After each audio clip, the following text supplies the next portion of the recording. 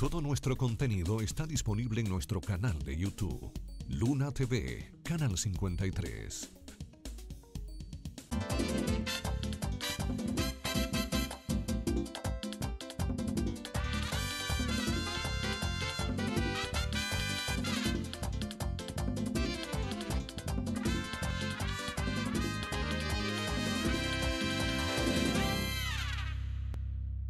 En nuestro poder tenemos estas dos comunicaciones que recibimos, tanto de medios de comunicación nacional y local como de organizaciones de la sociedad civil, haciéndonos la invitación a un debate público televisado.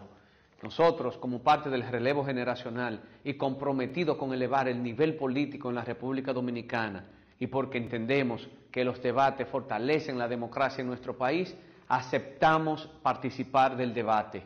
Hoy recibimos la noticia de que el debate que estaba pautado para mañana, lunes 5, fue cancelado. Lamentamos que los santiagueros no puedan conocer de primera mano las iniciativas y propuestas de los candidatos a la alcaldía. De nuestra parte, estamos en la mejor disposición de participar en cualquier escenario que sea necesario para el fortalecimiento de la política en la República Dominicana.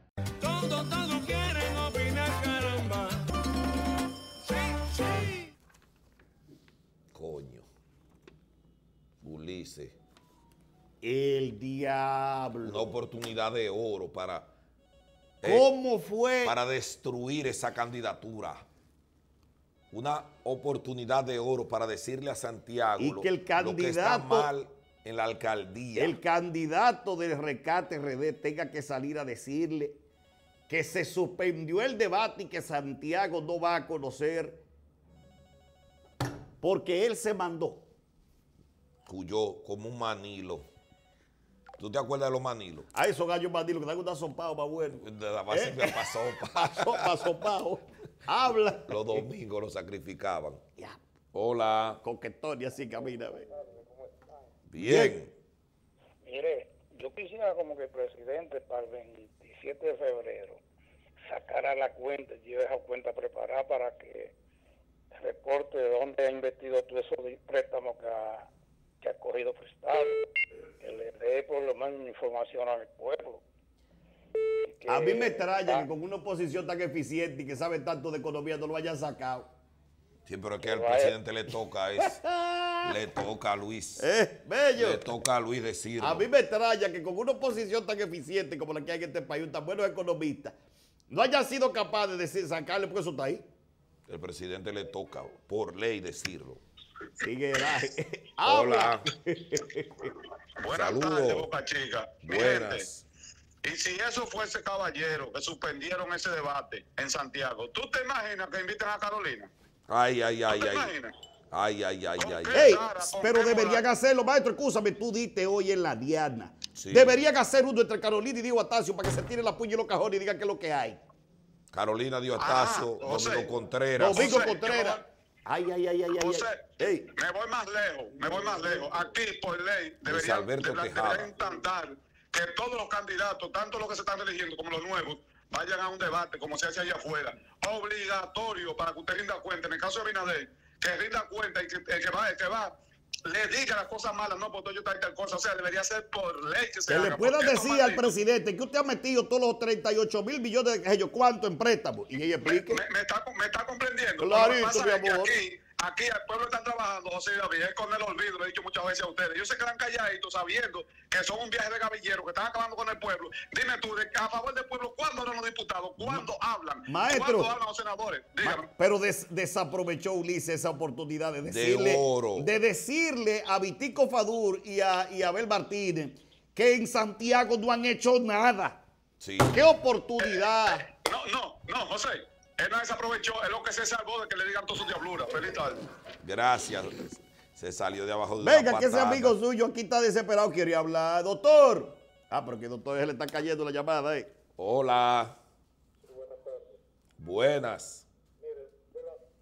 que dice ese señor fanático del PRM, lo veo tan emocionado cuando defiende el PRM. Me puedes tildar de lo que te dé la gana, pero yo no soy igual que tú. ácido con Leonel Fernández, que las vacunas que él menciona en el COVID Ahí andan casi 160 millones de dólares que se pagaron, 120 Que a lo Pfizer pagó Lionel seguro. y 40 a Moderna que no entregaron vacuna y las que entregaron se vencieron porque no se planificó. Así mismo. Vamos a. Este aprovechar contrato que firmó. Pero mi amor, Fue un la desorden. de él, la vicepresidenta de Santiago, que con orgullo al pueblo dominicano casi 160 millones de dólares. Así pero, mismo fue. espera no que llegue cuánta- Lionel y mételo preso y mete a la Yo no sé vicepresidenta cuánta- presa. Date ese gusto. Jueza de pueblo, señor- date ese gusto. Yo no sé cuántas veces José sueña con Leonel Fernando abrazadito. aquí. Ah, no me gustan los macabros, eso, los maquiavélicos como Lionel. Habla. Hola. soy amigo tuyo. Buenas tardes, saludos David. Saludos, José. hermano, saludos. Lo- Los políticos carecen de tan pocas virtudes y cualidades que no se dedican a ponderarlas, sino a desacreditar o a criticar a sus contrincarios.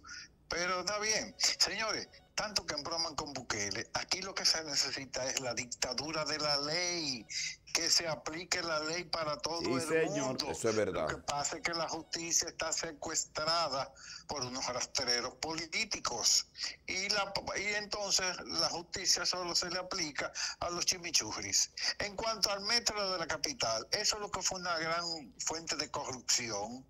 ¿eh?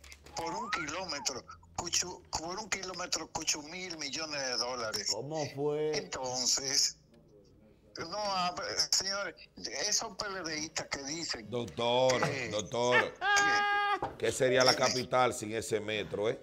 No estamos diciendo que el metro está mal, es lo que se pagó No para es que que esté ahí. David, David, tú sabes bien lo que es la forma, David, no el fondo. Yo lo sé, David, pero destaque el fondo, corrupción. destaque el fondo, Entonces, pa- para, para ponerle la tapa al destaque el fondo.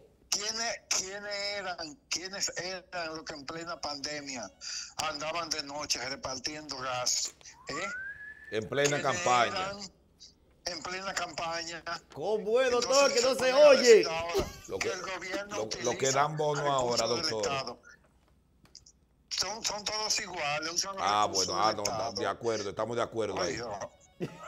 Gracias. Coincidimos ahí, doctor. Al, No hay nada que al agregar. amiguito del PLD que oiga ahí. Habla, digo de Lionel. Hola, Saludos. Saludos. Del Bronx, New York. Adelante, Adelante. el Bronx. Entonces José, entonces, José y David, los 38 mil millones de dólares que se cogió en prestado no se están utilizando en el monorriel ni en el... nada, no, no. en nada de Eso eso. se lo robó el PRM. Eso se lo robó el PRM, esos Coño, cuartos. pues Esos son no entiendo, mi fideicomisos. hermano. Entonces, pero está bien, pero entonces dinero que se está cogiendo prestado, aquí, ¿en qué que lo están Que el invirtiendo? PRM se lo está robando y la oposición es tan ineficiente que no ha querido sacárselo, yo no sé por qué. Coño, por la vaina está jodona, pero en un país donde se perdieron 500 mil toneladas de, de harina, ¿qué se puede esperar? El diablo. Tú, Así sa- mismo tú sabes, José, que ¿Eh? la harina se perdió. La harina se perdió, José, tú sabes. En portuaria. Y los barcos se pedían en Puerto Plata y no llegaron, pero No, estaban ahí. Eso es lo más grande, que no se sabe dónde se metían 500 mil toneladas de, de- de harina. Que no se sabe. El dueño de la harina que diga que se ha hecho el loco también. Hable. ¿Cómo es? ¿Y Hola. quién era el dueño de esa vaina? Ahora el presidente tiene una oportunidad de oro de, de decir todo lo que está haciendo, porque él ahora el 27 no tiene que hacer una rendición de cuenta ahora en febrero. Sí. Entonces, Ahí que tendrá aproveche una ahí- oportunidad de oro. De oro. De oro. Exacto, que, apro- que aprovecha y, to- y, y todas las inauguraciones y todo lo que él ha hecho, que lo diga ahí. Y que, y que saque lo que ha cogido prestado. ¿En qué lo ha invertido? Ahora yo me imagino la oposición protestando frente al Congreso. No, hombre, no hay necesidad de eso. ¡Habla! Buenas. Mire, el señor que habló de metro, y se le olvidó que Abinader dijo que lo, que lo que iba a poner le costaba mucho menos que lo que Leonel invirtió. Ahora, yo le, yo le pregunto al presidente, ¿cuánto se lleva a hacer un túnel encachado así? Que, que corra el tren, la gente vaya y ponga negocio abajo. sea. aéreo y otro un túnel. Aquí hay uno, aquí hay uno, aquí hay uno en Santiago que salió por 700 y pico millones de pesos. No, pero ah, el hoyo. El, El, hoyo. el- el arreglo de la carrera. El hoyo de Luis. Señor director, nos vamos. Dile- Ya. Denos un minutito del video del rebú en Mao, de los PRMistas. No, no, no, usted está hablando mal. El video del rebú, De ningún rebú. de los PRMistas. De la forma de culminar las actividades de los PRMistas en algunos puntos del país. Dele, señor director. Lo Dele ese ahorita. minuto. Dele ese minuto ahí para que vean de qué se trata. Súbelo.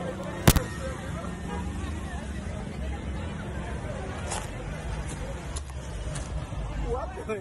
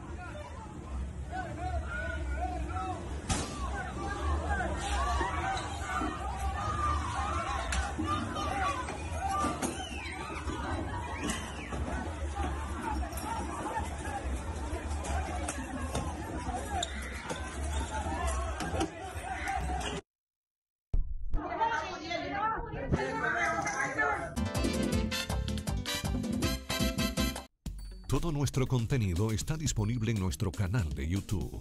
Luna TV, Canal 53.